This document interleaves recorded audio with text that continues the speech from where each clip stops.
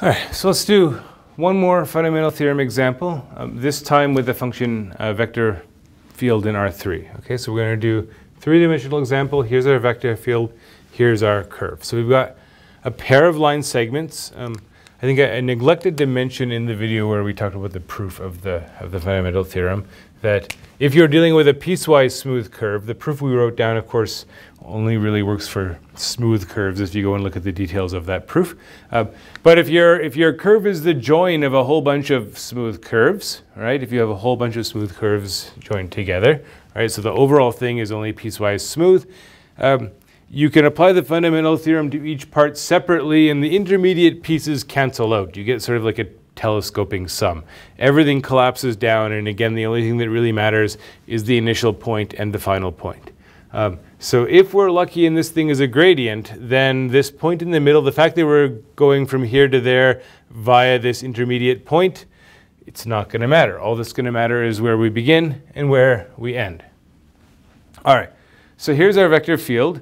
Um, you can probably already guess. I think you might be able to look at this one and already guess what your function should be that's going to give you the gradient. This one definitely does um, come from the gradient of some function.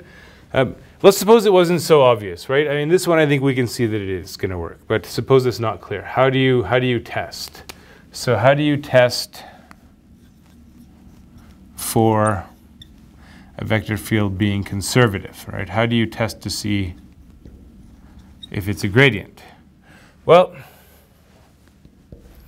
we know, or at least you know if you've done your assignment, we know that the curl of any gradient has to be zero. Um, so what this means is that if you calculate the curl of your vector field and it's not zero, um, well, in this case here, it's definitely not conservative, okay? There's no way it can possibly be a gradient if the curl is non-zero because we have this identity, okay? So that means that you're hoping that you compute the curl. All right, so here's kind of an initial check, right? It's, it's similar to that that check on the partial derivatives that we did um, for the vector fields in the plane. Um, now, again, we've discussed this a little bit in class that this doesn't guarantee that your vector field is conservative. Um, but it has a chance. Uh, we might even say probably. Okay? Um, we could talk about conditions perhaps in another video. We'll see how this one goes. We could discuss the conditions that uh, let you know when this is actually a sufficient condition. It's certainly necessary. Uh, it's not quite sufficient. Okay, so we can go ahead and we can we can do this check, right? So we can say for this vector field, what does the curl look like? So the curl we'll do the whole 3 by 3 determinant trick, i, j, k, x derivative, y derivative, z derivative, e to the y, x e to the y, 2z plus e to the z. And we expand this out. So in the i component, this doesn't depend on y, so that derivative is 0. This doesn't depend on z, so that derivative is 0. In the j, doesn't depend on x, doesn't depend on z. And for k, well, the x derivative here gives me e to the y. The y derivative gives me e to the y. e to the y minus e to the y gives me 0. So we have the 0 vector. So it checks out. Um, I might as well tell you, I'll, I'll tell you the, the punchline here. Uh, it's maybe, we say probably, well, um, yes, if the domain of your vector field is all of R3, okay? If there are points where the vector field is undefined, then you have to be a little bit more careful. You have to start getting into some topological conditions on the domain. So you have to talk about the domain being connected and simply connected. Get into these issues. Um, but this is defined everywhere, so we're fine. So now, how do we find, how do we find our function?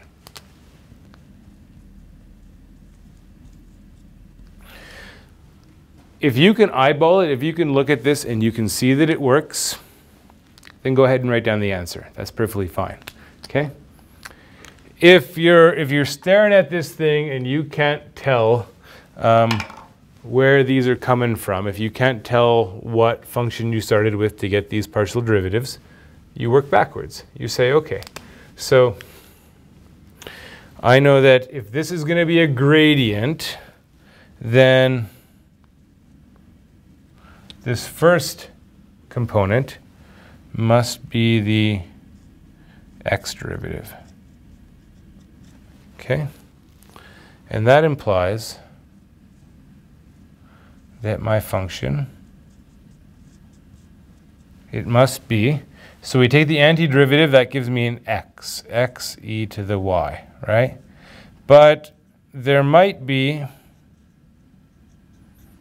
so our kind of constant of integration, if you want to call it that, is actually a function. It's something that doesn't depend on x, right? Anything that doesn't depend on x, its derivative would vanish. So there might be something that depends on y and z. So then we look at the, the second component. We have x e to the y. That's, we want that to be the partial derivative with respect to y. And so now we say, okay, so we should have well, actually, nothing happens when you do the antiderivative, right? The antiderivative of e to the y is e to the y. And there might be something that depends only on x and z, something that doesn't depend on y. So, so far you look at this and you're starting to think, okay, yeah, yeah, that seems like things check out, right? Things match up. Uh, but we still have one more to consider. So now we have to say, okay, we also have 2z plus e to the z, and that's supposed to be the partial with respect to z. So we do the antiderivative, and so 2z is the derivative of z squared, e to the z is the derivative of e to the z. Okay, but there might be some function, let's call it g3, that depends only on x and y, right? Because if I take the partial with respect to z of something that doesn't depend on z, it's going to be 0. So now you, you kind of compare, and you're like, oh, wait, okay, so there's this x e to the y, x e to the y, there's no, that's missing, right? But that's something that doesn't depend on z. It must be this, right? And then you say, okay, what about this, this G1, this G2? Um, what is that? Well, that must be this bit here, right? This bit that depends only on z. That's something whose partial derivative would go away when I do either the x derivative or the y derivative. Okay? So you make those identifications, you put things together, and you say, okay, it looks to me like my function should be x e to the y plus z squared plus e to the z. Right? Now, the other thing you can do, right, if you if you can see that right off the hop, and probably you could see it here, right? Write it down, confirm that it works, right? Write down your function, take the gradient, confirm that you get back the original vector field, and then nobody's going to question you. You're going to say, yes, obviously, you took the, you wrote down this function, you took the gradient, you got the vector field, it must be the right thing. Yeah, that's fine, you can do it that way. Now, um, what's the final punchline here? If I wanted to do the integral along C of f dot dr, well now I know that my f is a gradient. It's the gradient of this function f, so it must be f at 0, 1, minus 1 minus f at 0, 0, 0. So I just have to plug things in. What do I get? Um, at 0, 1, minus 1, so x is 0, y is 1, z is minus 1. So that's going to be, so this term goes away. That's a 1, That's an e to the minus 1. So I get, I get 1 plus e to the minus 1. And then at f of 0, 0, 0, that goes away, that goes away. I get, uh, well, minus e to the 0, which is minus 1. So I get 1 over e for my integral, right? And, and so if you wanted to, you could go ahead and try to do this directly, right? Parameterize this line segment, do the line integral, then parameterize this one, do that line integral, add the two line integrals together, see what you get. Personally, I would rather do this, right? Um, that's going to be a lot less work. Okay, that's why we want the fundamental theorem, right? It's why we want most theorems. It's because it probably saves us trouble somewhere along the road.